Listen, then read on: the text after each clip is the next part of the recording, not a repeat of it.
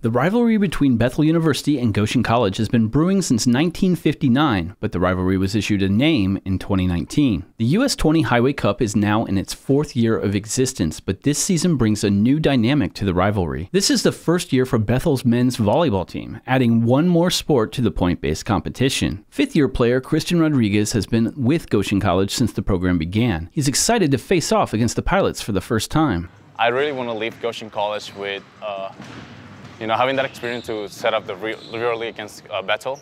Uh, and I think the guys will really work really hard next year to um, support and provide points to the cup. The rivalry between the two schools was on full display during the first match between the two teams. The Leaf Piles showed up strong at Bethel, and the match went the distance, with the Pilots defeating the Maple Leafs in five sets you know, based on what I saw the other night, it's just going to be a, another fun atmosphere for uh, the Bethel students and the Goshen students that came over, and we'll do the same thing when we come over to your place.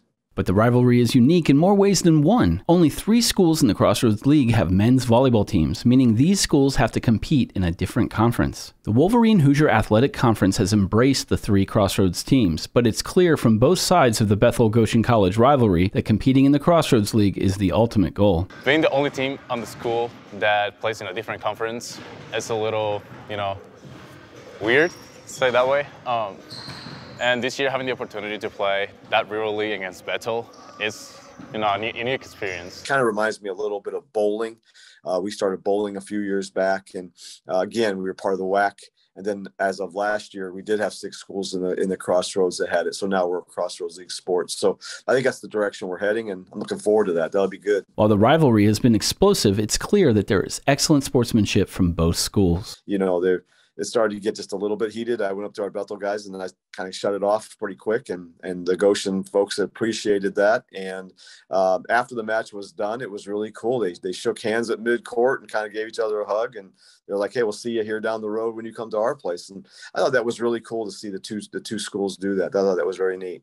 Even with the Pilots taking the win in the first match of this budding rivalry, Bethel's athletic department is grateful to Goshen College for being one of the first schools to bring men's volleyball to the area. I, I give Goshen a lot of credit for for starting men's volleyball back when they did because they were one of the pioneers to get it going first. And I think it's awesome to see what they've done with their program. They have a very good team. Your coaching staff does a great job. And um, I, I just I'm very appreciative to Goshen for getting the thing rolling. I think it's very good.